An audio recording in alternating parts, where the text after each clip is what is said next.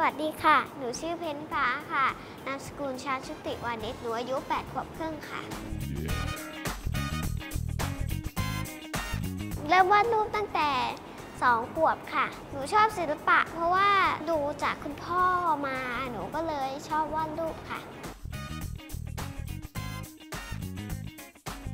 หนูชอบวาดรูป ร่างกาย หน้าคน แล้วก็วิวทิวทัศน์ค่ะ วันหนึ่งหนูวาดรูป เรา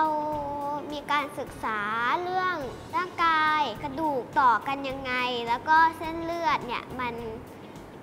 สัมผัสกันยังไงค่ะ ก็ใช้สี oil pastel ค่ะ ก็เป็นสีคล้ายๆ สีช็อกค่ะ มีสีน้ำแล้วก็สีน้ำมัน สีอะคริลิก แล้วก็สีช็อกล้วนก็มีค่ะ ตอนนี้หนูคิดว่าหนูวาดรูปเก่งแล้วค่ะ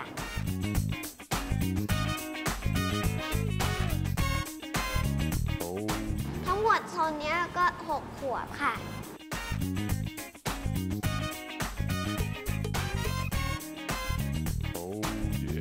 อ่าอันนี้คือเป็นคนที่เขาฆ่ามังกรแต่ว่ามังกรชนะ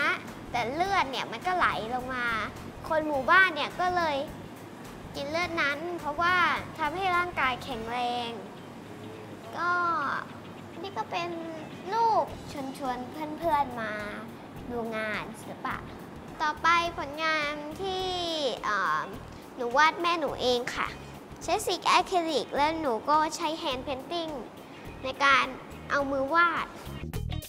ต่อไปเป็นผลงานของศิลปิน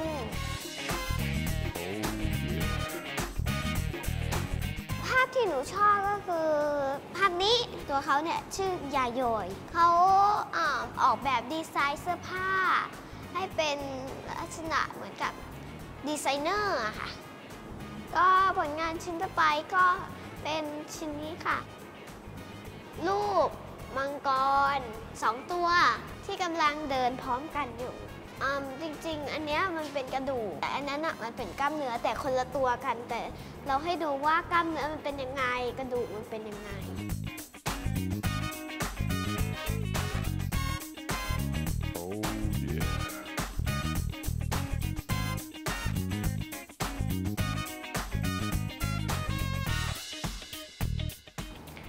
อันนี้คือผลงานของหนูค่ะ ใช้สีออยล์พาสเทลค่ะ